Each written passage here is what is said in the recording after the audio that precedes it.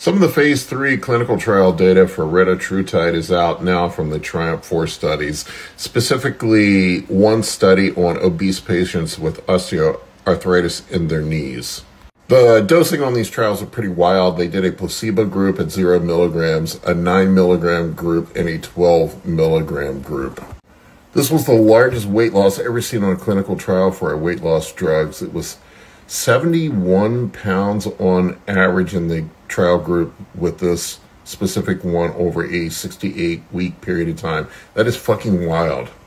In regards to the arthritis, it was 76% of the people in the in, participated in the trial saw a significant reduction in knee pain, and 14% saw a complete elimination of knee pain from arthritis. The dropout rate from the trial was pretty high. It was over 20%. It was something like 22, 23%. And it was the typical side effects that you would hear extreme weight loss, gastric emptying, upset stomach issues. But there was a new side effect reported dysesthesia, which is burning and tingling of the skin that a lot of people reported. I think it was close to 20% of the participants reported that, but keep in mind these doses were high. More information will be coming out soon. I have a full video up on YouTube about it today. Link is in my stories if you want to check it out. And it will be interesting to see what happens with retatrutide. I expect it to be approved by the FDA in 2026.